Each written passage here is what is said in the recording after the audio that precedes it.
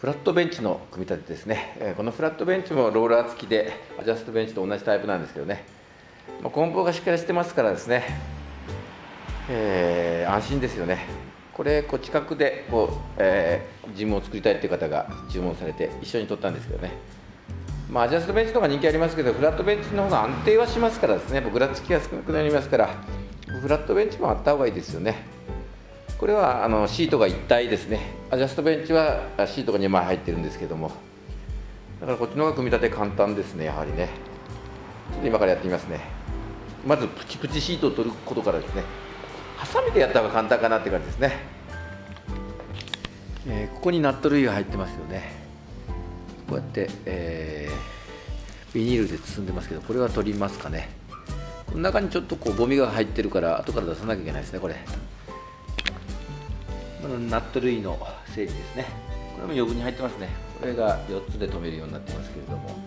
こっち持ち手がついてますからこっちはお尻部分ですね、えー、向こうが背中部分ですね。お尻の方が太くなってますね。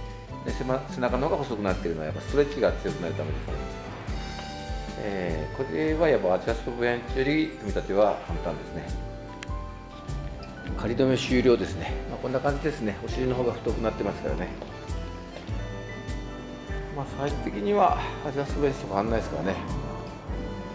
本当、フラットベンチはフラットベンチで使えますからですね、うん、今いろんなトライセプスエクステンションとかねその辺はやりやすいですね。あと腹筋とかですね、えー、まあ眼鏡ですよこれもね。それに持ち運びが便利っていうのがいいですよね。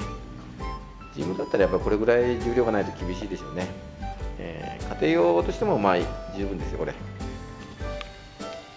このメーカー全部 19mm なんですねこれがね、えー、19mm のやつがあった方がやりやすいですね。こういうローイングとかねチェストプレス全部そうだったですからねこれがあるとやりやすいですね。まあ普通の、え、スパナでも大丈夫ですけどね。キャップはめるのはちょっと最初戸惑うんですけどね。こういうふうにかましてここで力いっぱいクッてやれば入るんですけどちょっと片手じゃ無理ですね。両手でやりますね。出来上がってしまいましたね。アジャストベンチとフラットベンチですね。こっちが5万でそっちが4万で出してますけどね。これは、えー、フラットベンチとかやっぱりちょっと軽いですかね。それでもこうしっかりした、えー、重量感はありますね。アジャストベンチはとにかく眼鏡ですね。